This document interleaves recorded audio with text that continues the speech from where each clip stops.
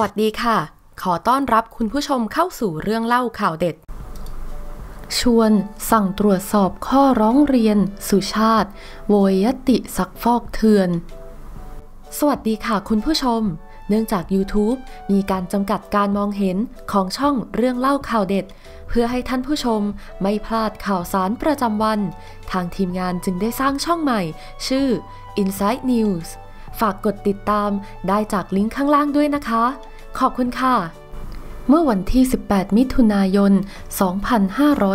2565 นายแพทย์สุกิจอัตโธปกรณ์ ที่ปรึกษาประธานสภาผู้แทนราษฎร ให้สัมภาษณ์ถึงกรณีที่นายสุชาติชมกลิ่น รัฐมนตรีว่าการกระทรวงแรงงาน ขอให้มีการตรวจสอบยติอภิปรายไม่ไว้วางใจ รัฐมนตรีเป็นรายบุคคล ตามรัฐธรรมนูญมาตรา 151 ของฝ่ายค้าน เป็นยติเถื่อน เพราะมีการสอดไส้เพิ่มชื่อรัฐมนตรีจาก 10 คนเป็น 11 คน จะมีผลต่อยติของฝ่ายค้านหรือไม่ ว่าเมื่อนายชวนหลีกภัย ประธานสภา รับยติของฝ่ายค้านมา เราก็ตรวจสอบความถูกต้องของตัวยติ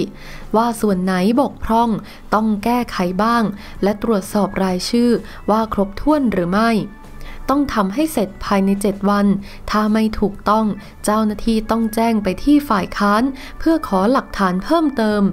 ส่วนกรณีของนายสุชาติ ประธานสภาได้รับเรื่องไปแล้ว และส่งให้หน่วยงานที่ตรวจสอบยติของฝ่ายค้าน โดยขอให้นำยติของนายสุชาติมาพิจารณาประกอบด้วย ดังนั้นต้องรอการตรวจสอบว่า ผลจะออกมาเป็นอย่างไร เมื่อตรวจสอบแล้ว หากหน่วยงานที่ตรวจสอบติดใจอะไร สามารถส่งข่าวไปยังหัวหน้าพักฝ่ายค้านได้ ว่าต้องการเพิ่มเติมอะไร หรืออะไรไม่ถูกต้องก็แก้ไขได้ซึ่งที่ผ่านมาเรื่องยติอภิปรายไม่ไว้วางใจ เคยขอให้ฝ่ายค้านเปลี่ยนบ่อย เช่น การใช้ถ้อยคำรุนแรง ไม่เหมาะสม แต่ฝ่ายค้านยืนยันไม่เปลี่ยนแปลง ส่วนใหญ่ส่งกลับมาเหมือนเดิม แต่กรณีที่นายสุชาติยื่นให้ตรวจสอบไม่เคยมีมาก่อน ขอขอบคุณข้อมูลดีๆ จากข่าวสด ฝากกดติดตามช่องใหม่ Inside News ได้จากลิงก์ข้างล่างด้วยนะคะ ขอบคุณค่ะ